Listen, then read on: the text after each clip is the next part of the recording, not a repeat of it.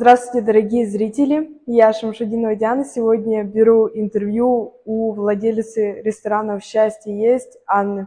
Можете, пожалуйста, рассказать о себе? А, всем добрый день, меня зовут Анна. А, я собственник и организатор, собственно говоря, того самого «Счастье есть» еда с душой. А, буквально чуть меньше, чем пять лет назад я была мамой в декрете и кондитером домашним но не таким, как все, а я была кондитером именно в теме правильного питания. А, и получилось так, что было предложение на открытие ресторана. Мы, конечно, от него отказались. Вот. Но после этого мы открыли ресторан первый, не рассчитывая вообще абсолютно ни на что. На сегодняшний день мы имеем сеть семейных ресторанов «Счастье есть еда с душой», потому что та философия и то, что я закладывала в свой первый ресторан, нашло отклик наших гостей и пользуется спросом. А почему именно название «Счастье есть еда с душой»? Почему именно это название? Ну, не знаю, какое-нибудь другое там. Именно это. Но мы же не поспорим с тем, что счастье есть. А готовим мы, вкладывая свою душу. Соответственно, каждое блюдо оно получает немножко больше, чем просто ингредиенты и технологию приготовления. Оно еще получает частичку нашей души. А почему именно ресторан, почему не клиника, почему не что-то другое? А, наверное, потому что Вселенная меня услышала и направила на историю с рестораном, и предложение пришло именно в открытии ресторана. Хотя, а, имея опыт работы 12 лет в большой компании, а, я была руководителем отдела продаж 12 лет. Буквально с 18 лет я пришла в компанию, на протяжении 12 лет я строила там карьеру. И когда я покинула эту компанию, не было понимания вообще, где я себя найду, в каком направлении, в какой сфере. А, так получилось, что по своим медицинским показателям, да, показаниям я вынуждена была отказаться от сахара и стала кондитером, да, ну, так совпало. Вот, и так получилось, что из десертов вот пошла дорога в ресторан. Семейный ресторан, да, что немаловажно для меня на самом деле, потому что я ну, счастливая жена и счастливая мама, и для меня очень ценен отдых с семьей. То время, когда мама может тоже выдохнуть, побыть с семьей и когда может просто получить удовольствие от, пров... от провож... времяпрепровождения со своими родными и близкими. Так, следующий вопрос у меня будет такой интересный. Сколько вы зарабатываете? Какая прибыль к вам приходит? В фунтах стерлингах? Давайте Или уже в долларах. В долларах, просто стандартно в долларах. Не переводила, на самом деле частный бизнес – это такая история, когда а, то, что ты зарабатываешь, ты принимаешь дальше решение, это останется чистой твоей прибылью, и ты будешь это ну, тратить. Или ты примешь решение развивать дальше свой бизнес и улучшать свой бизнес. И на сегодняшний день, имея данный уже бизнес, да, больше четырех лет, каждый раз я выбираю именно развитие своего бизнеса и большую часть своей прибыли я инвестирую именно в развитие своих ресторанов. Мы улучшаем сервис, мы улучшаем оборудование, мы улучшаем условия для наших гостей, да, а, и мы растем и мы развиваемся. Да, конечно, какая-то часть уходит, но чаще всего эта часть уходит именно для общего, так сказать, улучшения качества жизни моей семьи, да, достаточного качества и отдыха совместного. Так, ну я вас поняла. Следующий вопрос. Э, как вы добились опыта, знаний в предпринимательстве. То есть это же не упало к вам с неба, так сказать? Не упало. И было очень сложно, и было очень непонятно. И в начале интервью я сказала о том, что я отказалась изначально первый раз, когда к нам вышли с предложением, да, нам предложили в аренду помещение для ресторана, а я от него отказалась, потому что не было ни знаний, ни понимания, ни вообще опыта, тем более в этой сфере – и было достаточно сложно принять решение в этом направлении. То есть э, на тот момент в планах было именно развивать свою зожную кондитерскую. Вот. И, но кто не рискует, тот не пьет шампанского, да, шампанское я люблю, вот, и поэтому а, просто, наверное, шагнула вперед, доверилась своим каким-то внутренним чувствам, и обучение, знания, навык и опыт, а, они начали приходить со временем. То есть где-то просто от того, что мы много работали и получали новый опыт и новые знания, где-то, конечно, я уезжала на обучение в достаточно а, именитые школы и училась у статусных, у таких именитых шеф-поваров в Москве и в Санкт-Петербурге. У меня очень много вопросов в голове, вы не представляете себе. Но следующий вопрос мы будем. В чем искусство вашей профессии? Логично, да, в музее, в стенах музея задать да. этот вопрос. В чем искусство? И тут можно разделить, а, как и живопись много разделить, можно разделить на много жанров, так, наверное, и искусство ресторатора можно разделить на много жанров. Здесь есть искусство в создании атмосферы, так, чтобы твой гость, зайдя в гостевой зал, да, расположившись а, за столом, почувствовал себя хорошо. Это тоже определенная часть такая, да. А, искусство в создании блюд, искусство в приготовлении блюда. Создание и приготовление немножко разные истории. Ты его можешь создать один раз шедеврально, не факт, что он повторится.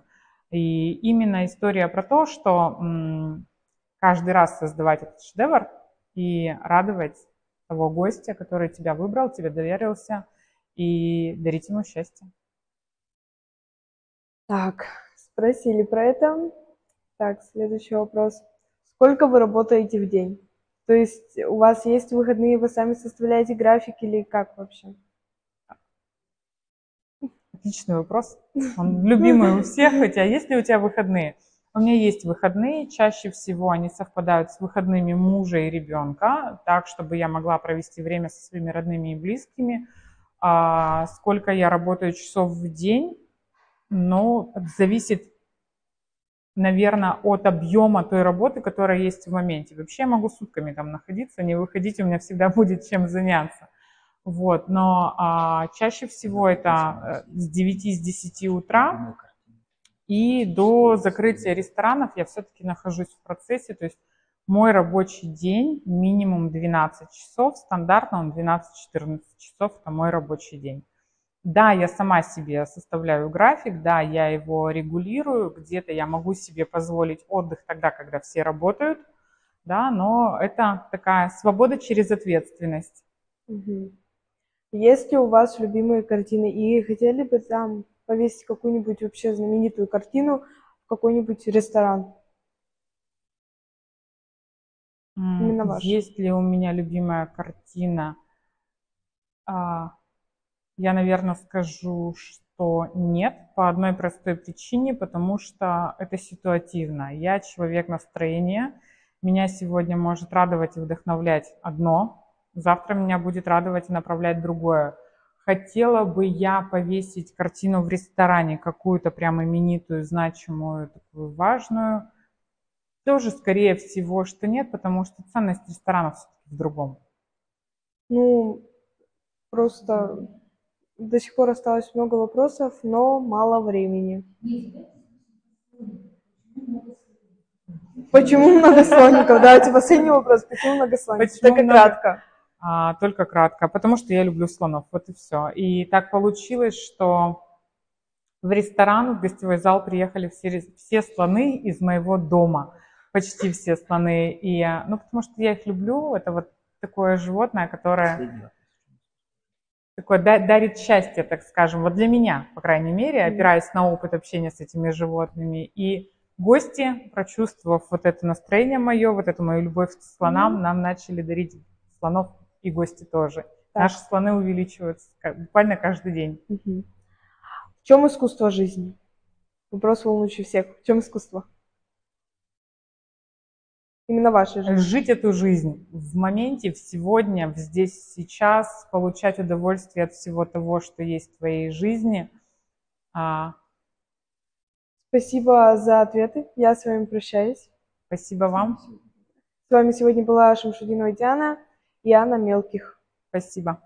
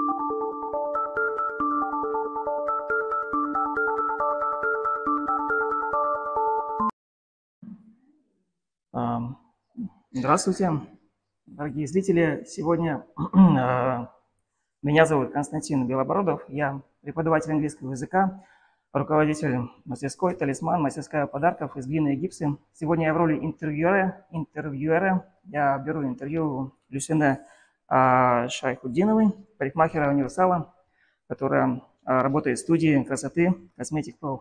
Здравствуйте. Здравствуйте. Так, ну, не буду скрывать, мы до этого были уже с вами знакомы, и э, достаточно э, уже продолжительное время, и я являюсь, можно сказать, вашим одним из постоянных клиентов. И меня интересует э, вопрос, откуда вы берете образы для вашей работы? А, на самом деле, ну, как творческий человек, отовсюду. А, какие-то картинки, какие-то моменты из жизни. Все это вдохновляет.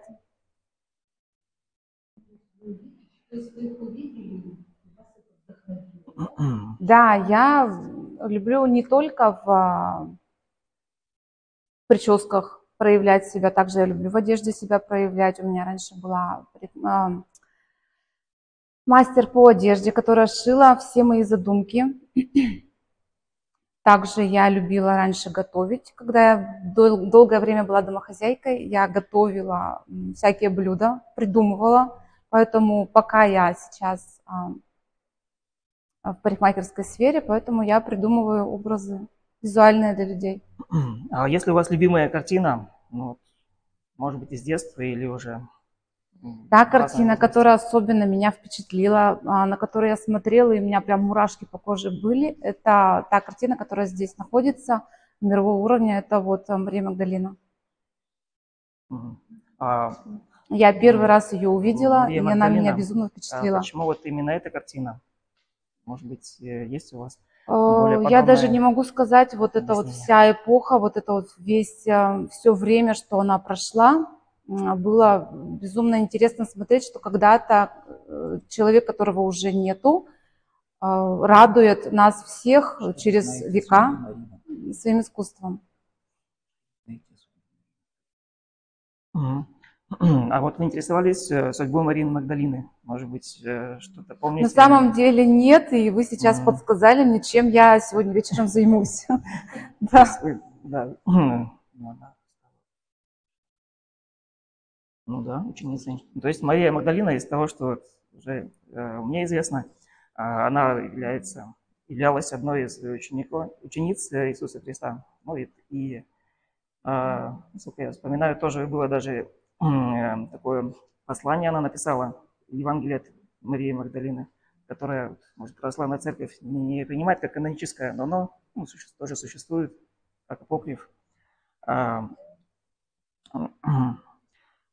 так, а, вообще вот само а, вот, работа в сфере э, э, парикмахерского искусства, в принципе, вот уже само название, да, наверное, является связано наверняка а, вообще с искусством, в принципе. Да. А, а вот я был достаточно удивлен тем, что в средние века парикмахеры были вот, в роли даже выполняли роли медиков. Вот вы что-то об этом слышали? А, на самом деле, нет, не Нет. слышала То есть такое. я тоже са- не так давно, тоже перед беседой, э, начинал, начал изучать историю парикмахеров. Оказалось, что с 1000, там, э, с 12 там, по 15 век в средних веках парикмахеры вот, выполняли там, функции хирурга, да, хирурга, стомато- стоматолога и так далее. Кровопусканием они занимались. Причем это была официально такая позиция, которая была монархами одобрена. Вот. То есть Мой вопрос. Врачом вы стали работать. Ну вот если бы вот в то- вы в средние века работали в сфере парикмахерского искусства, да, то каким врачом вы бы стали дополнительно? Ой, этому? такой интересный вопрос. Наверное, что-то связано с косметологией, чтобы более красивым сделать человека. А вот по здоровью я даже не знаю. Я как-то от, от здоровья Ну, не знаю. стоматологом, далека. наверное, бы не стали, да? Нет. Это не совсем эстетично, мне да. кажется. Так.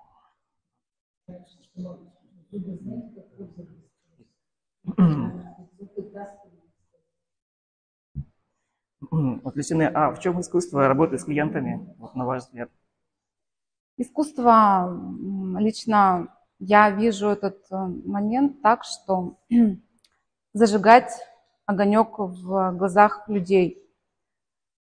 А, Женщинам всем, не всем, а многим нужно показывать, какие они красивые есть на самом деле, потому что раньше, когда я еще не была парикмахером, я проезжала по улицам города и видела серых потухших женщин. Мне было интересно, почему они не ухаживают за собой, почему они такие тусклые, ведь они могут вот быть прям вау, вот такими женщинами и дарить свет этому миру. И они все вот такие грустные, потухшие идут, и мне было вот очень интересно, почему так. И я пытаюсь зажечь своих девчонок, своих клиентов. Ну, то есть, если мы видим клиентов на улице города, то ярко одетых, то возможно, или с яркой прической, возможно, это кто-то из ваших клиентов. Да. А клиентов хотят изменить вообще свой Есть такие, много Ну, таких у меня, да. из обычного человек 10 А У меня есть вот интересные моменты, когда приходят из бюджетной сферы, где ограниченные люди, да, вот э, системой, они хотят вырваться из этого, но им не дает ни работа, ничего. Я подсказываю какие-то такие неяркие, но для них яркие моменты. И, на мой взгляд, я справляюсь, потому что они возвращаются ко мне. Вот, Люсина, а вот вы замечали людей с потухшими взглядами, а вот, ну, почему они потухшие, как вы думаете? Ну, мне кажется, это бытовое, это вот серость такая, заезженность, это неумение жить, на мой взгляд, потому что я сама через э, свой опыт могу сказать, что я раньше тоже не умела жить. Я была так, такой же серой потухшей, я в 25 лет вязала носки, смотрела сериалы. А что тогда произошло такое, что после 35 лет Это скорее после 35 лет э, стало, потому что скорее семейная жизнь, она загнала меня в такие тесные рамки.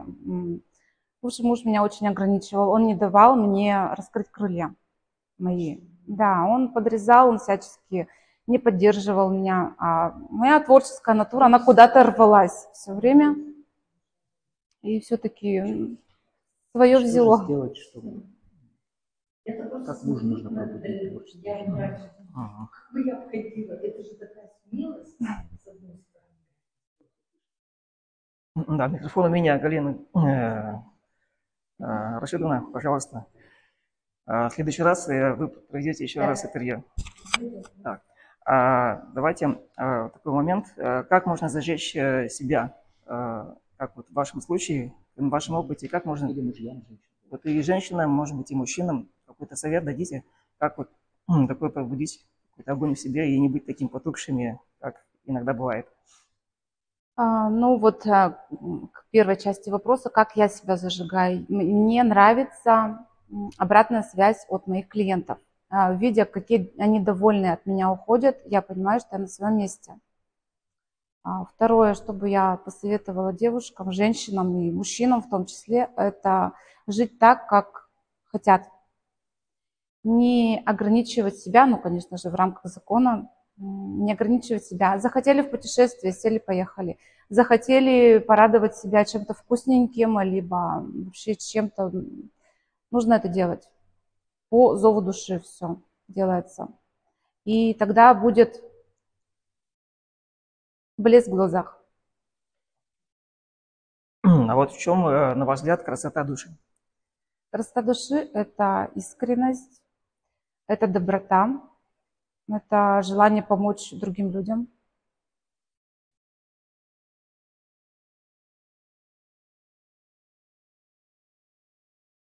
А вот в парикмахерском искусстве какое искусство, какая черта самая главная, на ваш взгляд?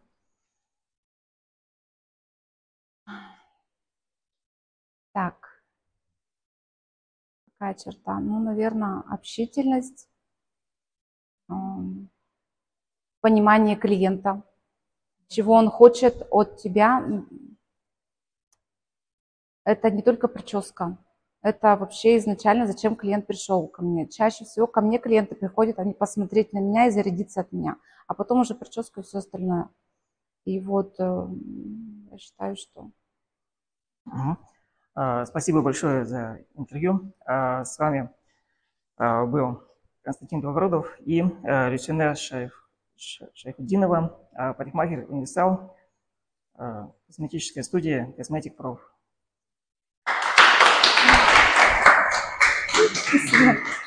Увидимся через минуту.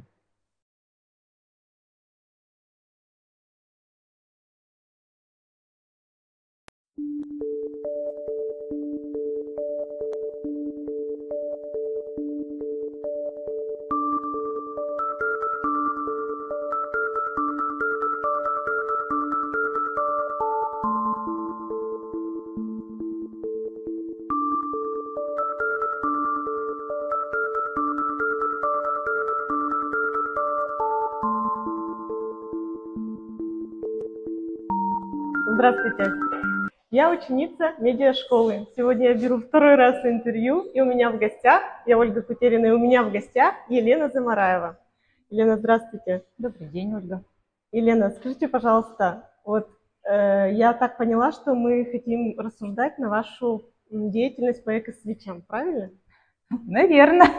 Посмотрим в ходе интервью. Ну вот интересно, вот э, как ты вообще, как вы вообще начали, какие мысли вас посещали, э, зародилась, может, как вот эта идея, что поспособствовало вообще этой идее, вот как это все возникло? Ну, я начну с того, что я люблю свечи. Всегда любила сжечь их, зажигать, смотреть на огонь. И находясь в декретном отпуске три года назад, я купила свечи, свечи из натуральной вощины. Для меня это был какой-то необычный материал, я вообще не видела ра- раньше таких.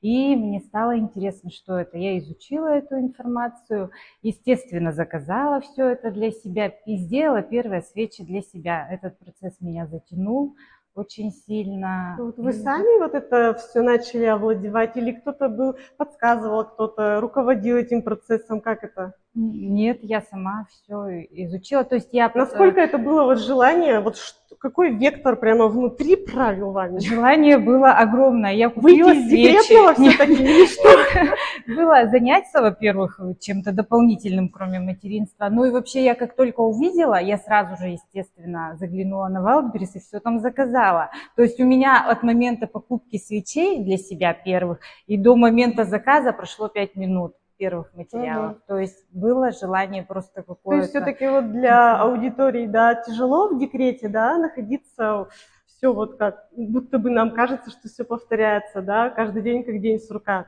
То есть все равно стимул все-таки был вот выйти из этого ежедневно повторяющегося Ну дня, да? да, да. Разбавить чем-то. Да, а какой, ну вот все произошло так быстро, пять Очень. минут, то есть человек действия, наверное, да? А а как вот э, первые, какие камушки попались на вашем пути, какие первые препятствия, может, задачи такие, которые прямо э, там все зашевелилось, тут зашевелилось, и вот надо решать все. Да. Ну, самое первое было то, что на Валдберрисе вощина была не натуральная. Это, во-первых, самое основное. То есть потом, после этого я начала более так э, внимательно относиться к выбору материалов, начала искать те магазины, э, для того, чтобы свечи, которые я делаю, были натуральными. А вот вы это общались с кем-то, ну, кто единомышленники какие-то были, или вот прям все сама, все так всё сама, сама с кем-то делилась ты вообще, с близкими, с друзьями? Ну, с близкими делилась тем, что я хочу, те- теперь я хочу этим заниматься. Вот. А на тот момент, когда я начинала это делать в городе, в принципе, не было таких а, мастеров по изготовлению свечей, поэтому я проходила курсы, искала в интернете, то есть информации много, а, курсов А, а до вот декретного, до све- свечей вы какой деятельностью занимались? бюджетной. Бюджетной. Э, Ну вот интересно, все-таки вот близкие, когда узнали эту информацию, глаза загорелись, действия пошли. Как были ли препятственные какие-то речи или вообще мнения, да, близких? Нет, меня, слава богу, все хорошо с этим, поддержали меня, направили, куда можно сходить, э, где взять, кому обратиться и так далее. То есть в этом плане все А хорошо. чем вот э, именно ваша философия, именно твои, ваши свечи? Я все время хочу на ты. Давай мы Можно на ты, перейдем на конечно. да. Э, Почему именно вот твоя философия, вернее, почему именно твои свечи вот должны приобрести, завлечь? Ну вот как твоя философия, Мгм. что ли, да, здесь надо? Ну, я раз сама люблю жечь свечи, мне кажется, что это прям такой процесс волшебный, и поэтому, когда я делаю свечи, я предпочитаю делать одна, чтобы мне никто не мешал, то есть я абсолютно погружаюсь в этот процесс, наслаждаюсь моментом, то есть у меня какое бы ни было настроение до этого процесса, когда я начинаю творить, у меня настроение просто поднимается, поэтому я считаю, что они такие теплые, душевные, сделаны с любовью. Вот ты вот их создаешь, а сама пользуешься как? Ну, Конечно, И- ежедневно. Так, и какие процессы, какие преследуешь уже, э, так, зафиксированные эмоции, какие получаешь? Ну, это просто момент такой наслаждения, момент расслабления. Ну и я, во-первых, их ну, не только для этого использую, для того, чтобы, допустим, ароматы тестирую, воски тестирую. Ну, это же не просто различные- ты поставила их и села, такая расслабляешься. Ну вот давай поконкретнее. Вот иногда бывает именно так, после работы пришла, зажгла, села и сижу, и больше ничего не хочется. А как ты вот э, ищешь клиентов для того, чтобы увидели, услышали, и это дальше пошла красота? Социальные сети, ярмарки Ты различные. ведешь активно социально, или хотелось бы еще как-то улучшать? Хотелось бы активнее. Сейчас, э, к сожалению, у меня немножко э, моя деятельность снизилась, так как я, так как я вышла на работу. Но а так в целом социальные сети поддерживаю, веду и на ярмарки выезжаю. Можно ли вот самостоятельно, без какой-либо поддержки, прожить вот на, на такой вид деятельности? Ну, доход такой. Ну, На том уровне, на котором ты. Ну, все, конечно. Я думаю, что если прямо этим заниматься очень серьезно, допустим, выйти на маркетплейс или куда-то, то можно. А так у меня это в большей степени хобби, ну и не очень маленький источник дохода. Мгм. Ну, может, вот девочки, кто это более такая доступная, да, стартовая, ну, не знаю, идея, где женщина может начать вот как-то раскрываться и Конечно, даже конечно. мысли по заработку, да. Ты что посоветуешь им? Ну, не останавливаться. Во-первых, если начали уже делать, то есть мир свечей, он вообще огромен. Есть огромное количество материалов, видов, различных емкостей, куда можно заливать свечи, какие формы заливать. То есть, если начали делать, то, конечно, не сразу все будет прекрасно, будут отличные продажи, они могут быть и через год не супер, на которые можно прожить. Не останавливаться, делать для себя, это в любом случае А было ли вот такой момент кульминационное разочарование? Ну, бывает вот в любой идее, в любой бизнес-проекте, бывает, ну, все. Вот либо финансовая это какая-то яма, да, ты Мгм. потерял что-то, либо эмоциональное, что ты вот, ну, нет клиентов. Вроде тебе кажется, ты вроде уже все испробовал, а вот не идет как-то. Было ли у тебя такой Было, момент? Был. да, То есть было. ты возродилась все-таки из этого? Конечно. И конечно. продолжила это? Да, я начала придумывать что-то новое, дополнительное. То есть для тебя это наоборот стимулом, Да. как э, для чего-то да, нового.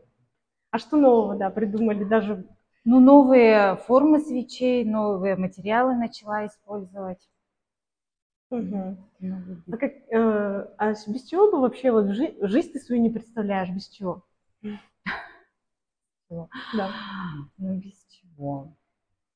Ну, без выходных на даче. Это просто для меня отдушина. теперь, и ресурс такой восстановления очень сильный. Мгм. А какие визуальные образы в искусстве тебя вдохновляют? Может, не вдохновляют, все имеет место быть. А, Лаконичные образы такие, элегантные. Какие-то картины определенные есть любимые? Ну, если картины, то э, картины, допустим, с морской тематикой мне очень нравится. То есть ты вообще, получается, все на умиротворение у тебя за, Ну. Да, да, можно и так сказать. То есть ты все время себя как бы в баланс. Значит, ты эмоциональная? Я эмоциональная, да. А как ты справляешься вот с э, эмоциями? Не будем про радость говорить, а будем вот именно про негатив, про агрессию. Мы все люди, все это возникает у нас. Как ты нашла метод в своей жизни управления вот этой эмоцией? Ну, вздохнуть и выдохнуть прежде всего, и потом Сколько уже- раз? Потом в зависимости от ситуации. Если посложнее, то, конечно, может быть, уйти где-то посидеть в одиночку, ну и прокричаться иногда. Ну, не на людей, а где-то в пустоту, да. Ну да, это очень хорошо, кстати, да, я по, по себе знаю, что это выходишь вот где-то в лес, и просто вот ты вспоминаешь те моменты, которые тебя доставили тебе туда волнительное, ты начинаешь просто про, Правила жизни, меня уже торопят, правила жизни, ценности жизни, какие три правила ты можешь озвучить? Быть честным, ответственным, ну и любить то, что тебя окружает, людей, обстановку и мир. Прекрасно. С нами была сегодня Елена Заровнятных. Забраева. Прошу прощения. И Ольга Кутерина. Спасибо.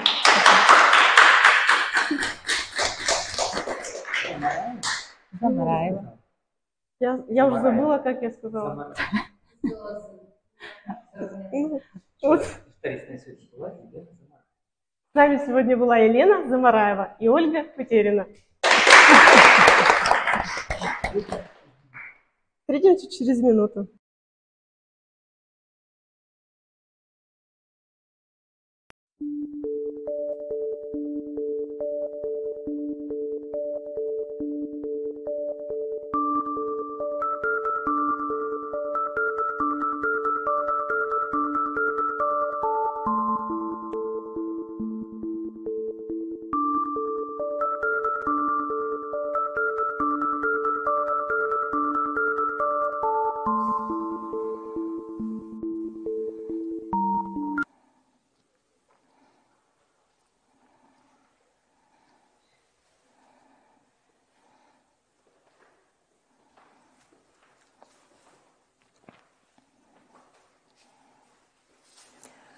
Здравствуйте, я Наталья Краснова. Сегодня э, в Ирбитском музее гравюры искусства э, рисунка у нас Константин. Мы сегодня с ним будем рассматривать картину.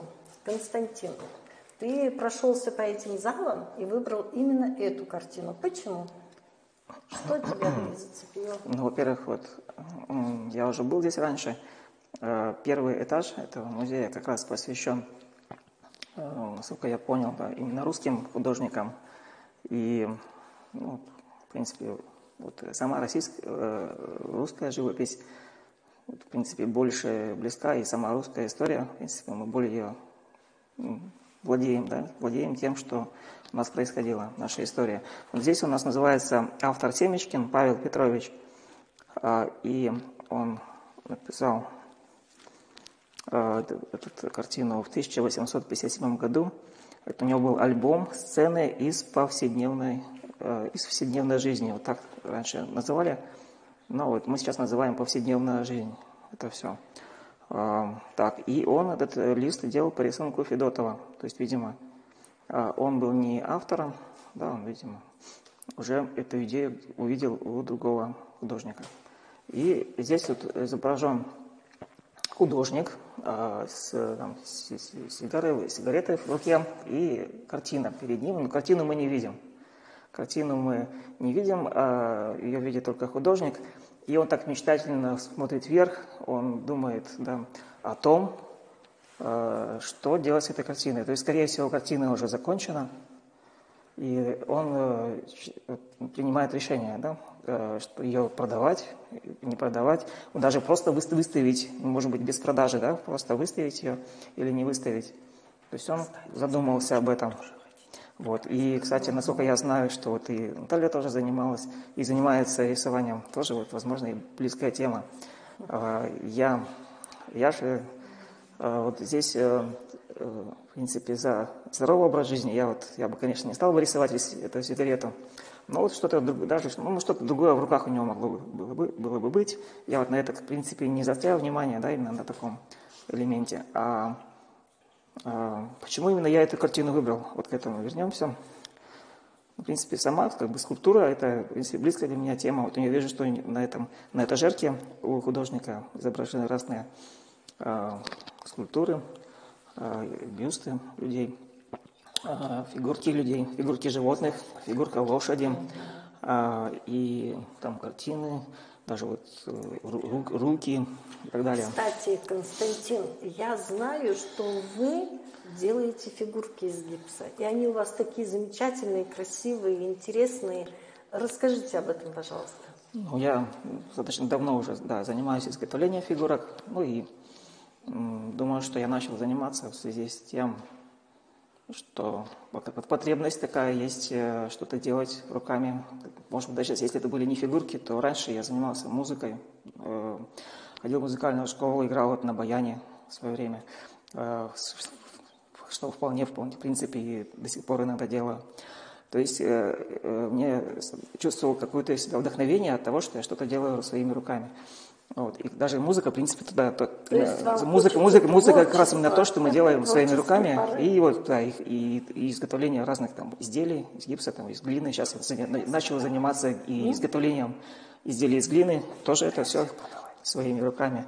Вот. И особое вдохновение, да, тоже получаешь, когда Ну, на, выстав- на выставках я когда, Да. да. тоже люблю участвовать, потому что вижу отзыв, отклик людей, что им это нравится, и они меня вдохновляют действовать дальше. получается, вот, Константин, монетизировать это все? Вот э, как раз через выставки я вижу, что да, людям нравится, и это э, в денежном выражении, да, я получаю от- отклик, и люди, э, я бы сказал, что у многих людей в городе, да, есть мои фигурки. Это уже э, либо кто-то знает, либо у него есть, либо он знает того, у кого есть эта фигурка. То есть я думаю, что А у вас вот есть такие какие-то фигуры, например, вот, ну, самые дорогие, например, по цене какие-то? И кто вот их купил? Я бы сказал, может интересно? быть, не дорогие, более э, интересные. У меня есть, э, начал достаточно, ну, несколько лет назад я делал такую панно э, «Тайная вечеря». То есть она как раз, вот здесь тоже, кстати, подобные есть э, на втором этаже. Гравюра «Тайная вечеря».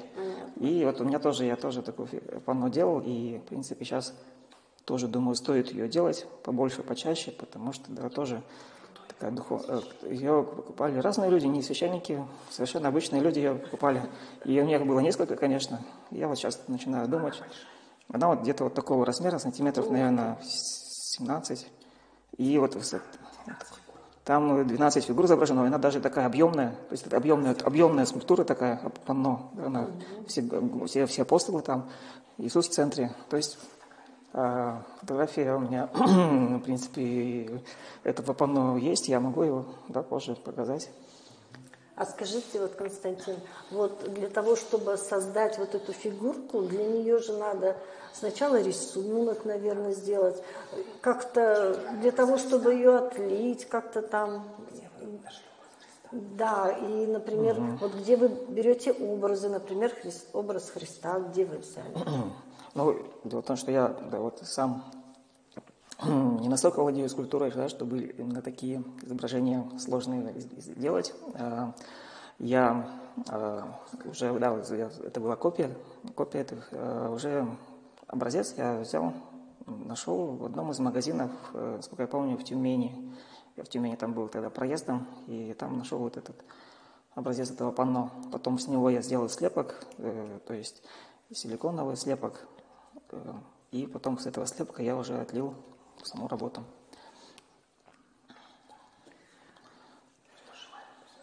Ну что, Константин, было очень приятно с вами побеседовать. Э, Желаю вам творческих успехов и чтобы вам всегда сопутствовала удача.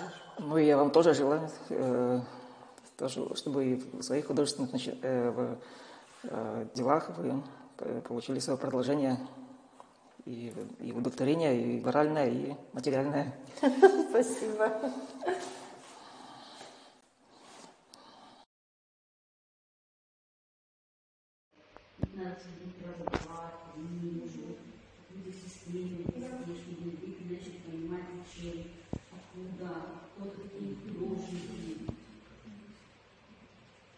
Какое любимое слово у детей, как они описывают это искусство изобразительное? Ну, красиво, нравится. Красиво. Им нравится здание, им нравится сюда приходить, им нравится обстановка. Они в восторге каком-то. Важную роль в становлении музейного собрания сыграли дары крупнейших российских музеев. В 1976 году 10 живописных произведений в статусе копий и более 80 старинных гравюр поступили в орбит из Государственного Эрмитажа. 520 графических листов мастеров разных национальных художественных школ были переданы из ГМИ имени Пушкина. Источником приобретения европейской печатной графики многие годы были московские и ленинградские, петербургские частные коллекции, а также антикварные магазины. Следует отметить, что многие листы в 70-х годах поступили в музей в непригодном для экспонирования состоянии. Серьезная реставрация старинных гравюр проводилась специалистами Всесоюзного художественного научно-реставрационного центра имени академика Горбаря. Кажется, что еще совсем недавно, а на самом деле ровно год назад, в Вербицком государственном музее изобразительных искусств состоялась презентация мирового значения картины гениального фламандского живописца Питера Пауля Рубенса «Кающаяся Мария Магдалена с сестрой Марфой». За год экспонирования в Вербицком музее с шедевром европейской живописи эпохи барокко познакомились тысячи ценителей искусства. Администрацией музея было принято решение включить эту картину в передвижную музейно-выставочную программу, чтобы и у жителей вашего города появилась уникальная возможность увидеть подлинный шедевр Питера Пауля Рубенса. Сегодня уже достоверно доказано, что в коллекции Ирбитского музея находится подлинник «Кающейся Марии Магдалены», которую художник написал в 1618-1620 годах.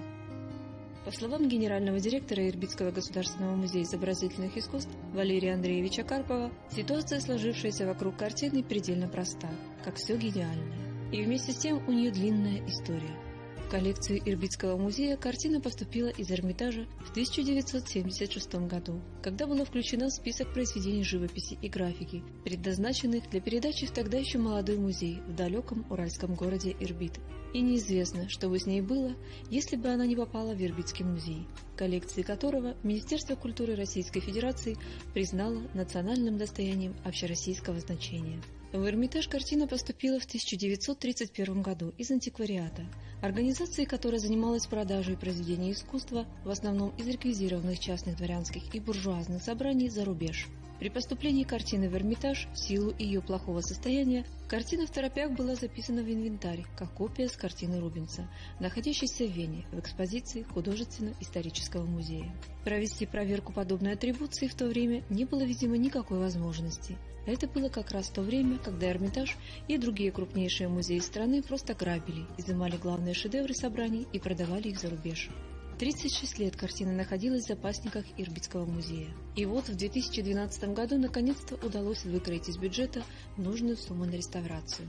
Надо отдать должное Антонине Александровне Насеткиной, художнику-реставратору высшей категории из Нижнетагильского муниципального музея изобразительных искусств.